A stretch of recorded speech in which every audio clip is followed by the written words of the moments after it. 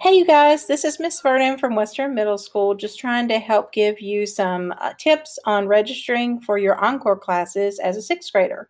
So, the first thing that we're going to want you to do is go to the Western Middle School webpage and you're going to look on the left hand side of the screen. I'm going to give you a second to get there um, and make sure that you can find it. But under the left hand side, there's a place that's called Quick Links. And you're going to see the second one down says NC Ed Cloud Login Staff and Students.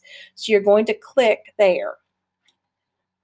Once you've logged into your NC Ed Cloud, you're going to see your PowerSchool um, icon that you can click on. And that's the logo that you click on to check your grades in PowerSchool if you've done that when you were in elementary school.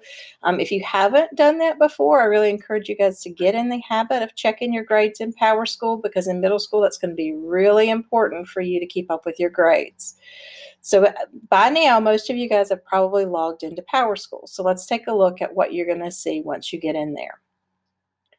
On the left-hand side of your screen, once you log into PowerSchool, you're going to see a lot of different little icons. There's one down there about halfway down the page that looks like a chair with a pencil, and it says class registration next to it. So you're going to click on that icon, and it's going to take you to the page where you're actually going to register for your sixth grade Encore classes. This should be the screen that pops up when you log in to your Encore registration sheet. So what we're going to do is we're going to uh, go through and we're going to actually look at some examples of how it, the screens are going to change as you go through logging on for your different Encore choices. Let's say that you want to register for band. The first thing that you're going to do is go to the right hand side and click on the little pencil icon that's next to sixth grade band. That's where you're going to register for band. Once you click that icon, the next screen that comes up is going to look like this. You select band by clicking the empty box that's in front of the words band grade 6.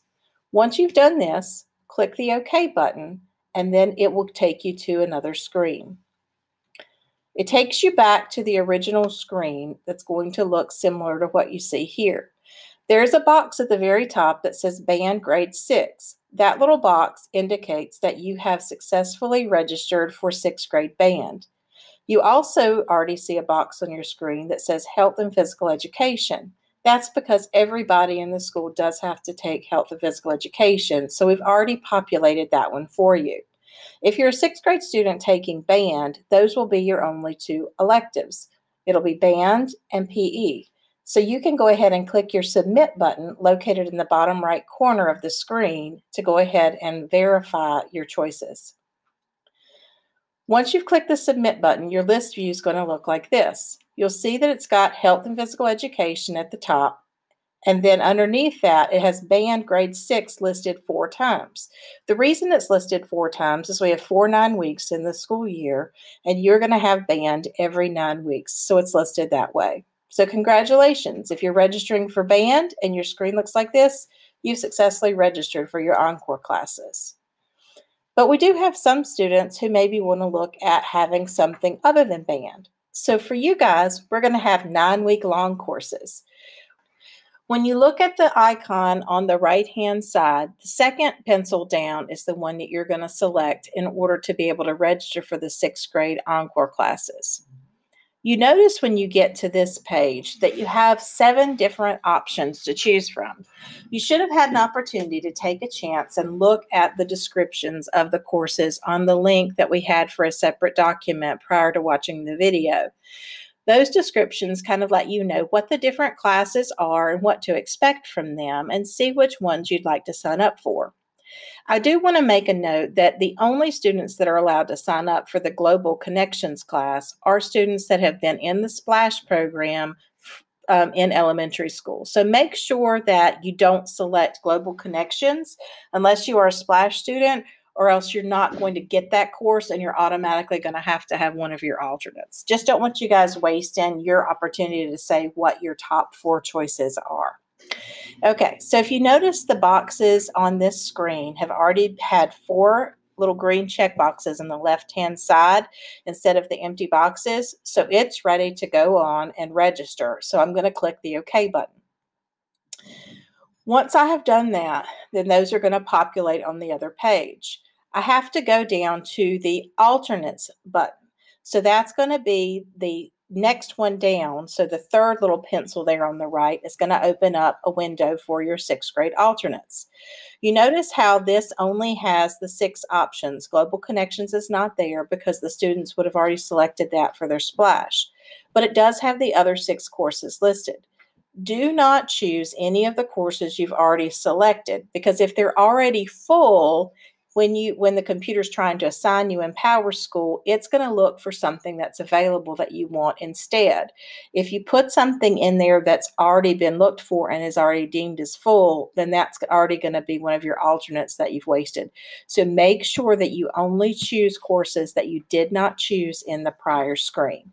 Then click OK. Once that's done, you're going to need to double check your choices. You're going to look at your screen and it's going to have the different blocks. Under sixth grade Encore, you notice there are four blocks listed with different course titles. Under sixth grade alternates, you'll notice there are two additional ones. Make sure all of those names are different. Again, we don't want to waste one of your Encore choices or your alternates. Health and PE, again, is already submitted for you. So once you've chosen your Encore classes, you've looked at your screen, you've double checked everything, and you're ready, click the blue Submit button in the bottom right hand corner. Once that's clicked, you're going to see a list view that's going to have all of your choices. Again, it starts with health and PE because everyone's required to have that. And then you're going to have four choices that you put in for your encores and then the two alternates please understand that the computer just randomly assigns students into the classes because you have those four choices there does not mean that's the order that they're going to be in. They're placed in that order in numerical order of their course number, so that doesn't have any significance in the order that they're going to attempt to try and get you in the classes. But those are going to be the ones that we try and get you in. But if your screen looks like this, congratulations, you guys have registered for your Encore classes. I'm really proud of you and I look forward to getting a chance to meet you next year and help you with things. Don't hesitate to contact myself or Ms. Jacobs if you need help with this. We'll be glad to help you navigate this process or even to do it along with you. So, um, again, this is Ms. Vernon. Feel free to contact me or Ms. Jacobs for any additional help or if you need some um, conversation along the way to try and make some decisions. Thanks and have a great day. Look forward to meeting you soon.